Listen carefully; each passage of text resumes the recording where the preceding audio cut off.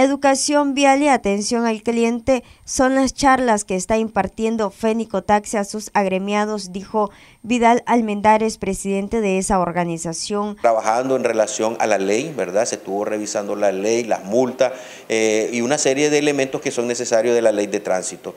El otro tema que se abordó ampliamente también fue el tema de la atención al cliente. En este sentido es el comportamiento del que brinda el servicio al usuario, su, este, su aspecto, eh, su, digamos, eh, actuación ante, ante el usuario, eh, tratando también de mejorar la calidad del servicio hacia nuestros usuarios.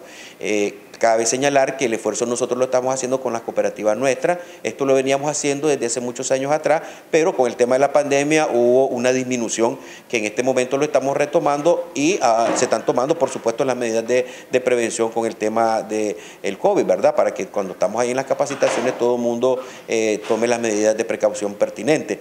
Eh, ahora, eh, evidentemente que este esfuerzo que nosotros estamos realizando, sentimos que algo que, se, muchas veces no logramos que se visibilice, se visibilice correctamente con la población, porque recordad que para hablar de Managua hay 12 mil concesionarios, y nosotros tenemos alrededor de 800 socios. Entonces, el, impacto que podemos tener, digamos, de imagen hacia el efecto en la población eh, se ve minimizado porque aquí en Managua, por ejemplo, hay como 5 mil individuales.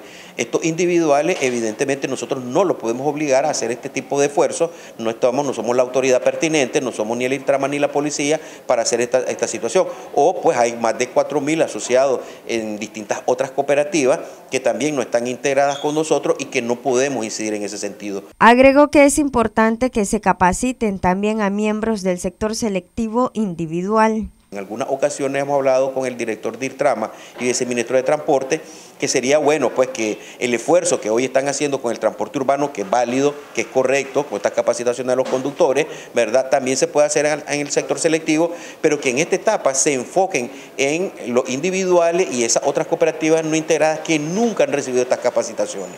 En, otra, en otras ocasiones el IRTREM y la policía ha hecho capacitaciones, pero lo ha hecho con nosotros, con las cooperativas integradas, con las cooperativas organizadas. Y hay una gran cantidad de gente que nunca ha tenido este tipo, digamos, de atención. Entonces nosotros eh, sugeriríamos porque las autoridades, si piensan hacerlo con el sector selectivo, se enfoquen en este sector. Nosotros vamos a seguirlo haciendo, ya tenemos programado cuatro encuentros. Noticias 12, Darlene Telles.